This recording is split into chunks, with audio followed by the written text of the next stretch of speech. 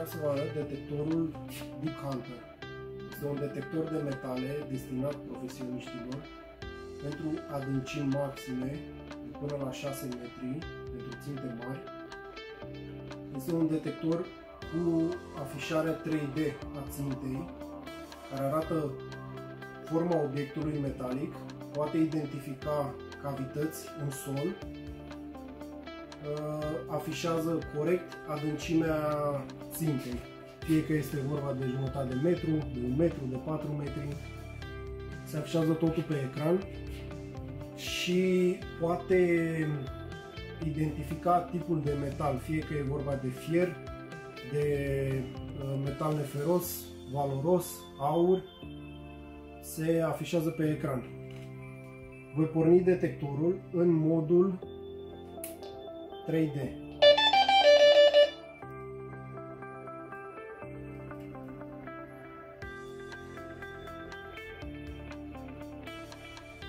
Aleg limba română. Ok. Detectorul identifică bobina conectată, identifică automat. Acesta este procesul de calibrare al solului. Momentan facem o probă în aer liber, așa că nu este identificată niciun fel de mineralizare. Ok. Acesta este ecranul de detecție, îi mai zice și ecranul osciloscop.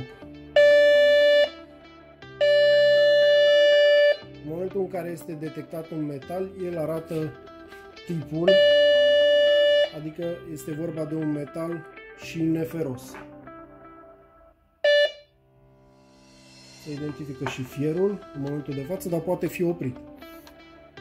În momentul în care am descoperit o țintă, voi face acum proba cu o monedă de aur.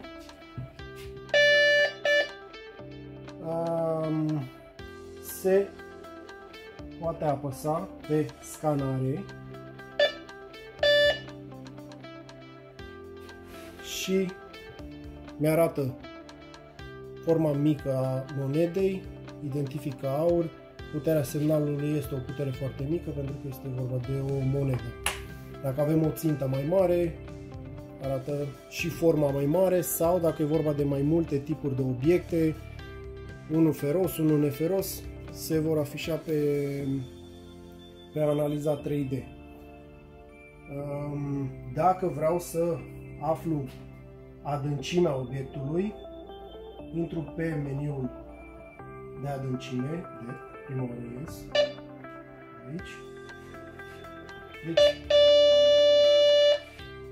se detectează un metal, intru pe adâncime, acum este important să uh, introduc o dimensiune, o rază aproximativă a zonei pe care sună detectorul.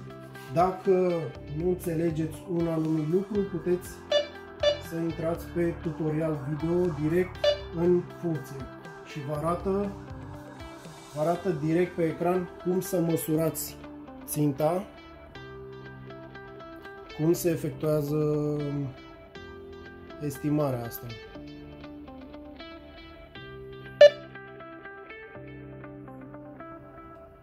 Deci după ce am introdus toate valorile astea, apăs scanare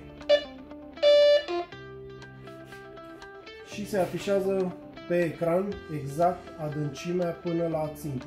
76 de centimetri. În momentul în care vreau să elimin gunoaiele și țintele feroase, e de ajuns doar să activez o, o opțiune de discriminare și să debifez fierul. Aleg oprit.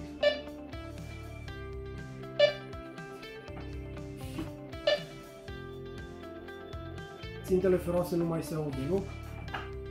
Cuprul, argintul, sună, sună foarte clar. Haideți să vă arăt fiecare bobină aparatului.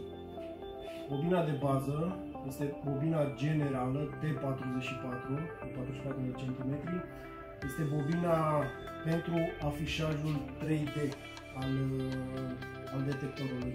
Adică Detectorul merge în două moduri. Odată în modul 3D cu afișarea țintei și mai are încă un mod 2D ce, ce funcționează ca un detector de metale standard cu tonuri audio. Bobinele pătrate, cea 44 și cea mare, T100, sunt pentru afișarea 3D a țintei. Bobina generală bate în jur de 50 de centimetri pentru o singură monedă și aproape 2 metri pentru o țintă mai mare. Bobina mare nu poate detecta obiecte mici, adică monede sau uh, chestii foarte mici, dar bate la o adâncime maximă de 6 metri. Pentru modul 2D se folosește uh, bobina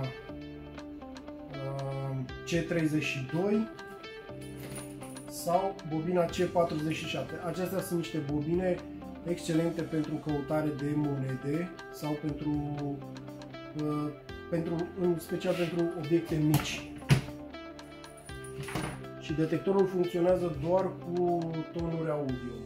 Adică aveți, aveți discriminare, uh, funcționare excelentă pe soluri mineralizate și uh, și se folosesc funcțiile din partea dreaptă a aparatului, cele pentru modul 2. Detectorul funcționează cu acumulator lithium polimer ehm, de mare capacitate. Aveți doi acumulatori incluși, căștile audio, geanta detectorului, unitatea are o pusă de protecție,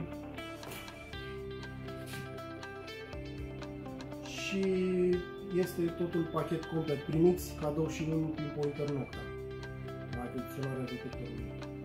În concluzie, este un detector de metale destinat profesioniștilor, dar poate fi folosit și de amatori, căutători de comori care vor un detector cu maxim de performanță, maxim de adâncime. Uh, manualul uh, cuprinde toate funcțiile aparatului, este tradus în română, meniul detectorului este tradus în română